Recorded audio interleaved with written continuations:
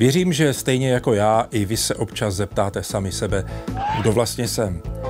A při hledání odpovědi jistě přijde na řadu i otázka naší jedinečnosti. Já si myslím, že není tak úplně důležité, jak a komu jsme se narodili, ale spíš, kým se máme stát, jakým vlastně chceme být člověkem. O naší jedinečnosti musíme vždycky uvažovat ve dvou rovinách. Na jedné straně se rodíme s jedinečnou a neopakovatelnou DNA. Na straně druhé však existuje jedinečnost, na které musíme stále pracovat. Francouzský spisovatel Jean Ditoué napsal, že originalita není člověku dána, ale je to výsledek trpělivé námahy, tápání a omylů.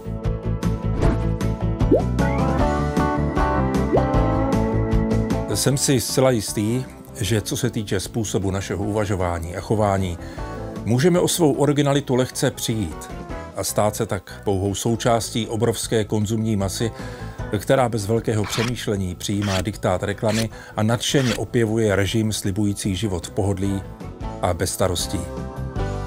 Můžeme tak ztratit spoustu skvělých schopností, a to nejen v kreativní sféře, ale například, řečeno básnicky, můžeme ztratit i srdce.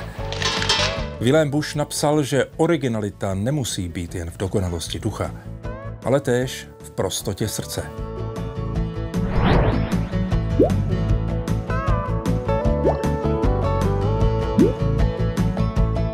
Historie nám potvrzuje, že vlády nikdy nebyly individualitám či takzvaným svérázům moc nakloněny. Tím se totiž komplikovala možnost ovládání davu. Vždy byla daleko výhodnější uniformita, i když třeba spěla k určité jednotvárnosti.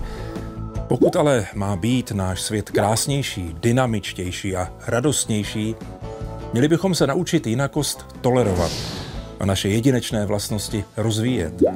Měli bychom být otevřeni názorům jiných, respektovat je, a to i když s nimi nebudeme zrovna souhlasit. Dopřejme si navzájem zážitek z jedinečnosti.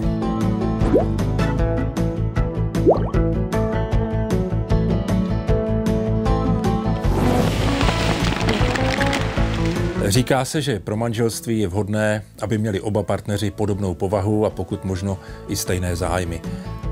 Já si však nemyslím, že je to pravidlo. Francouzský lékař André Subiran říká, že spojit život s druhým neznamená zříci se individuality. Přikláním se k tvrzení, že protiklady se přitahují. Například já a moje manželka jsme spolu 40 let a téměř 30 let spolu pracujeme. Přitom jsme každý úplně jiný. Jenom jsme se naučili z povahových rozdílů a z našich individualit udělat přednosti. Doplňujeme se, diskutujeme a právě to nás k sobě přitahuje. Jedinečnost každého z nás tak vlastně utužuje náš vztah a má tvůrčí potenciál. Troufám si tvrdit, že taková dobře zvládnutá názorová konfrontace může přinést řadu skvělých věcí.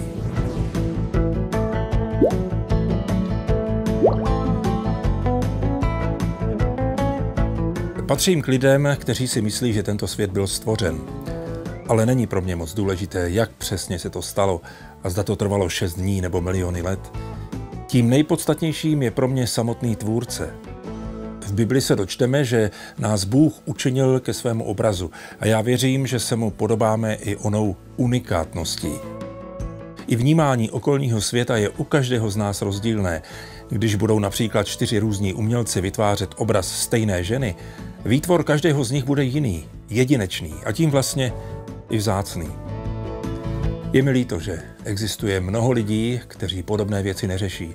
Raději pohodlně splynou s davem a nutí ty, kteří vyčuhují, aby se přizpůsobili. Je to však právě jedinečnost, co nám umožňuje být tvůrčími bytostmi. Tak si ji hýčkejme a užívejme k dobrým věcem. Bůh z nás udělal to, co jsme, a rovněž jsme od něho dostali schopnost k dobrým skutkům. Proto je od nás samozřejmě právem očekává.